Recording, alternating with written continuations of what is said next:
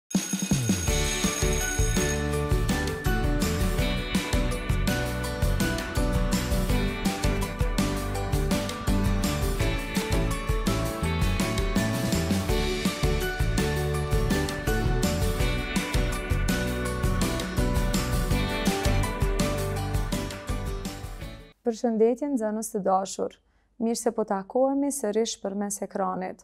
Sot nga lënda e muzikës do të zhvillojmë njësinë mësimore me titull Luajmë lojën dhe mësojmë, Bleta dhe Ariu, të cilën ju e keni në librin e edukatës muzikore, faqe katërmbëdhjetë.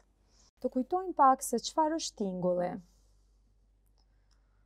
Tingulli kemi thënë që është zëri që krijohet nga dridhja e valëve të ajrit. Tingulli është zëri që lëshojnë instrumentet e ndryshme muzikore.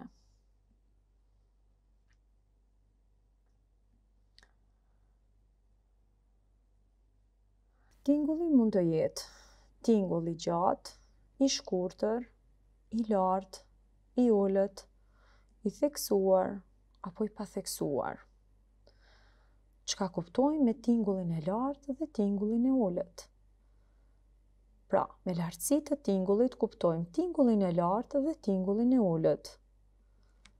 Tinguj të lartë janë cicërimat e zogjve, tingulli i flautit, i violinës e tjerë. Ndërsa tinguj të ulët janë tingujt e kontrabasit, zhurma e bubullimës, uturima e elefantit e tjerë. Në librat tuaja keni të shfaqur këtë fotografi ku thotë në fund të saj pra na udhëzon të bëjmë kështu. Përgjigjuni mësuesit se cila melodi tregon ariun e cila bletën. Imitoni me lëvizje melodinë që po e dëgjoni. Kur dëgjoni melodinë në zërin e lartë, ngritni fletët me ngjyrë të qelur. ndërsa me të dëgjuar melodinë në zërin e ulët ngritni fletët me ngjyrë të mbyllur. Pra, nga fotografia vërejmë që Ariu është duke nxjerrë zërin nga goja dhe e ka afër fletën me ngjyrë të qelur, tregon pra zërin e lartë.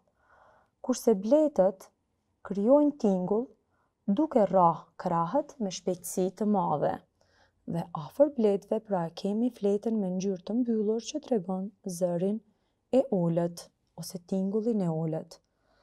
Tani unë do të interpretoj në sint dy melodi dhe ju do të bëni këtë lojë duke ngritur fletën me ngjyrë të qelur në qoftë se melodia është luajtur në tingullin ose në tonalitetin e lartë, ndërsa kur melodia luhet në tonalitetin e ulët, ju ftoj që të ngrini fletët me ngjyrë të mbyllur, pra duhet që të dallojmë melodinë e luajtur në cilindo tonalitet ta dallojmë me vesh.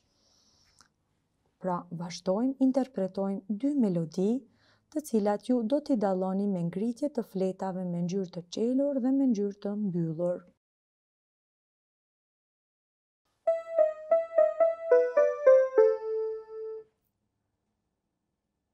Pra cila melodi ishte kjo? Ishte melodia e luajtur në tonalitetin e lartë. Dëgjoj melodinë tjetër.